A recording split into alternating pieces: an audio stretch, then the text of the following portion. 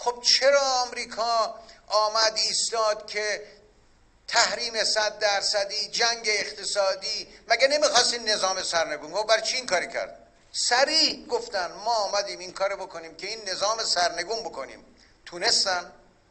نتونستن. گفتن سه ماه نشد. گفتن سب کنید چهار ماه نشد. گفتن شیش ماه نشد. بعد از شیش ماه چیکار کردن؟ خودشون آمدن دنبال مذاکره. ترامپ آدم فرستاد. ترامپ یکی از مسئولین مهم منطقه شرق جهان رو فرستاد خدمت مقام معظم رهبری فرستاد ایران. مگه نکرد این کار رو؟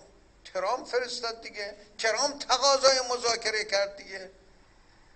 ده ها بار از من تقاضای مذاکره کرد. از طرق مختلف اروپا و غیر اروپا کشورهای منطقه و غیر منطقه. این به معنی شکست نبود. اگر آمریکا پیروز شده که خب نیاز به این نداره که ای التماس کنه برای مذاکره که خب پیروز شده تمام شده دیگه. یه ما دیگه ثبت می‌کنه. به قول خودشون نظام جمهوری اسلامی رو از بین میره تمام میشه. فرش قرمز پهم می‌کنن برای اینکه اونا از واشنگتن بیان وارد تهران بشن دیگه. چرا شکست خوردن؟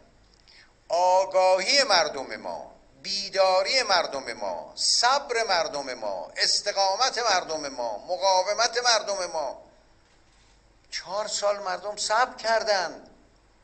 این که شما می‌بینید امروز در وین مذاکرات ما به خوبی پیش میره این مال صبر مردمه. بفهمند همه. پیروزی ما در سایه ایستادگی ملت ایرانه. مقاومت ملت ایرانه. تدبیر دولت راهنمایی مقام معظم رهبری و ارشاد ایشانه. همینجوری که به دست نمیاد مجانی که پیروزی به دست نمیاد بهای سنگین باید پرداخت بشه. بهای سنگینی پرداخت شد. اما در این حال قدم به قدم دولت هم در کنار مردم